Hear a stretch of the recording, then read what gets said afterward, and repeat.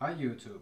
Today I'm gonna talk to you about Tacx desktop application and especially about the firmware update for Neo that added pedal analysis for the software. So we are going to take a look about how to install the Tacx application and how to use it and especially we are going to take a closer look about the pedal analysis and what does it offer.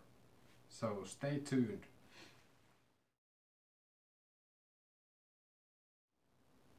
So last week when I was watching this video that featured Elite smart trainers, I was starting to wonder whether or not Tacx have something similar to offer. With a bit of googling, I was able to find out that actually yes, the Tacx has just released a new firmware update for Neo that is adding the support for pedal analysis. And for the firmware update I made a video, so click here if you want to see how to upgrade firmware on Tacx Neo. So let's take a closer look about the desktop application itself. So as I said, I found this news from the internet and it's dated on 18th of December last year. And you can find the link from the description of this video. So it will try to open it in the store, so select open in Microsoft Store and then select get.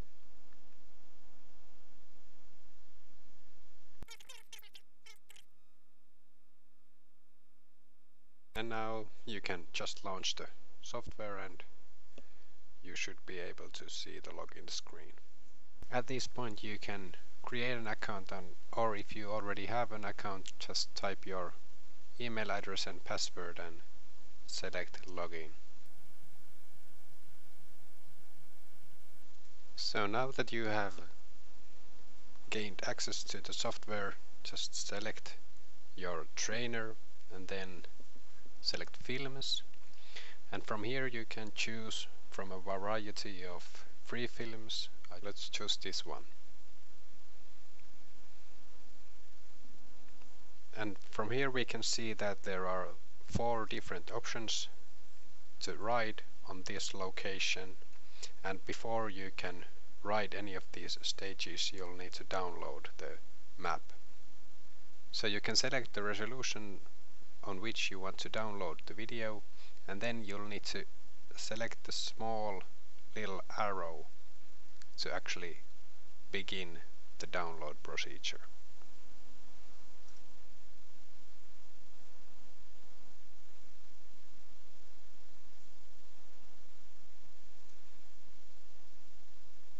So now that the download has been completed you can go ahead and start training by selecting the road and start. In the beginning there's an optional warm-up.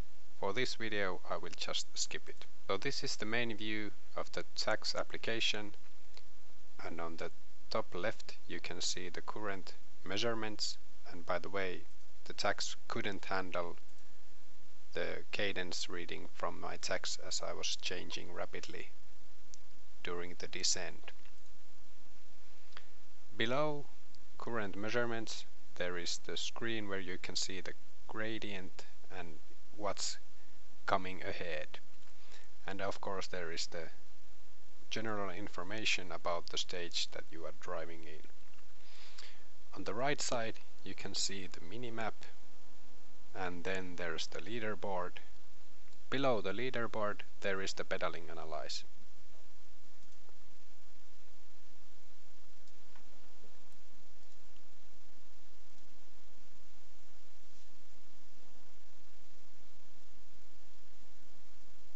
Now that we are going on an ascent, let's take a closer look about the pedaling analysis screen.